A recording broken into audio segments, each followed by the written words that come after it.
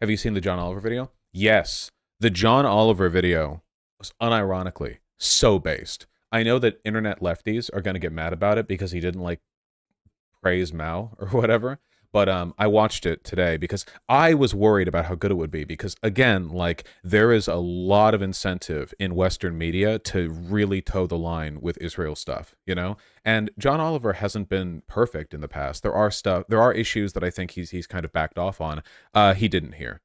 4 million views in a single day, 32 minutes long, so it's a longer episode. And it's like, it's based as hell. Calls for a ceasefire, calls out Netanyahu for supporting Hamas and using them as a political wedge to gain power. Essentially, just calls Israel fascist. Um, like massive sympathy to Palestinian people. Like, seriously, like the, the whole thing is based as hell. The only thing he does that isn't like exactly what every lefty online is pushing for is he didn't like I don't know praise Hamas or whatever like whatever stupid optical sword people online think they have to fall on to make this point or whatever. He doesn't do that, but like it, he says like every good thing, you know? Like consistently. Um yeah it was really good. It was really good. You know you need you need stuff like this man. Um this is this is how you reach the mainstream. This is one of the reasons why like i it, much in the same way that bernie sanders had a broad appeal and he uh brought a ton of people into the left movement like he is doing the same. And i know that there's not a lot of social capital in saying it but there are a lot of people in the online left and the left broadly today uh, that got their start with John Oliver because he's been doing this for years and he's been a good entry point for a lot of people into more like radical left leaning perspectives. Um, so uh, like it's it's so so so so good. It's so so good.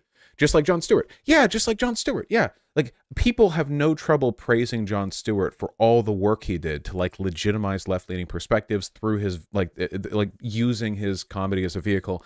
And the thing is John Oliver's better at it, like massively so. You can say like, well, he's no replacement for Jon Stewart, and I agree. But if we're purely talking about like the density and quality of left-leaning political talking points, John Oliver is infinitely better than Jon Stewart. Not a question of quality or like their personhood or whatever. It's just it's been like 20 years since Jon Stewart was at his heyday, right? Like things have changed and John Oliver literally like he doesn't even do like bit by bit comedy points or whatever. Like every week he just focuses on like a political topic, you know? Um it's so so so good. Um and, and it has to be recognized as such. People say that he's cringe and he is. I mean, he says he is. Um you know, the people people say like uh, oh well he's Libby. I just I honestly think he says as much as you can get away with while still being a mainstream voice in the media while still being like a late night talk show host. Genuinely, I don't know if there's uh, like I don't know what you would have to do to take a step past this. Like like yeah, seriously. It's not, this isn't just like he's a progressive. He's significantly more progressive than the vast majority of Americans. Um and we don't really we don't really know how much he's toning down his power level too. Like it, you know it's it's it's difficult to say. We don't know how much bernie is right? I mean we we know he was like the protest the stuff that he said over his life. I don't know if john oliver my guess is that john oliver is like a very authentically left-leaning person who has a very good team of authentically left-leaning people that have very intelligently worked with their legal team to be as much an advocate as they can without tripping any flags that get them run through like the media denunciation circuit. Because you want to be at least somewhat careful because if you start doing like optically damaging stuff you can end up in a corbyn position where most of what you say is completely correct but then you get like trashed and tarnished by the media anyway. You don't want to make it easy to tarnish you right? Bernie sanders got a lot done in large part because he's like a really approachable friendly person and he says stuff very like in a very measured way so as a consequence of that, you know, he didn't make it easy for people to attack him. People did still attack him. Not saying they didn't, you know, but he could have made it easier for them. And it was because he had the time to work on his message without being just outright deplatformed that he was able to like, you know, basically kickstart the modern left progressive movement in America today. So I don't know. It's crazy because like John Oliver's only getting started. I don't know how long his show is going to be popular. Like I I I can't I can't see the future. Um, but dude's like was 50, 55, you know, like I, I something in that ballpark. Like he's got a lot of time to to do good work. Stuff like this just makes me feel really, really hopeful because it goes beyond just oh, it's a good show. Bro, he's been at it for a long time. Yeah, I, I know that.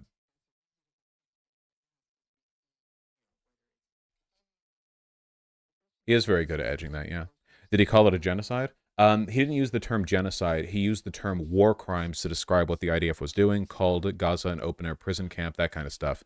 Uh, he didn't use the term genocide. He didn't talk about the Nakba. There were things that I feel like he would have touched on, but didn't. But but like he felt like he had to get away with it, basically. Like he he he doesn't want to like trip a flag. So in that, like, obviously there are so many chains on him that we can't even see. This is one of the reasons why I'm a lot more sympathetic to people like, I don't know, AOC or Bernie than a lot of other lefties are. Because when you're in those positions, or when you're like a big late night talk show host like like John Oliver is, there are so many invisible chains, so many people, so many phone calls, so many veiled threats, so many accusations that you never see as a member of the audience. And every day that shit builds up. And you know john oliver gets threats. I mean he constantly goes after people in power. Like you know for a fact he does. You know we're going to take your network down. We're going to have a convo with this guy this and that. This is like uh you know um defamatory whatever else. And he persists through it i think because he's smart. He makes jokes about how many like legal concessions he has to make um to to keep the show running as it does. So i you know we stand a thoughtful king right?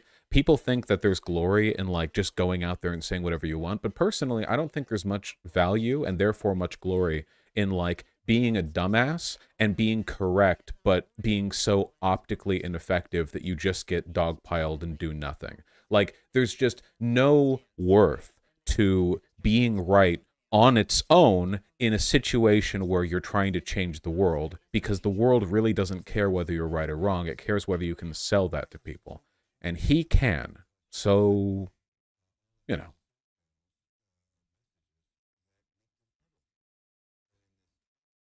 I think it's good. I think it's cool. The uh, the the the Bob Murray suit. Yeah, yeah, that the the coal CEO. Yeah, yeah. Um, the SLAPP suit. Did a whole episode on that too. Yeah, I don't know much about the Jon Stewart stuff. I I, I didn't watch his bit. Um, I really should. You know,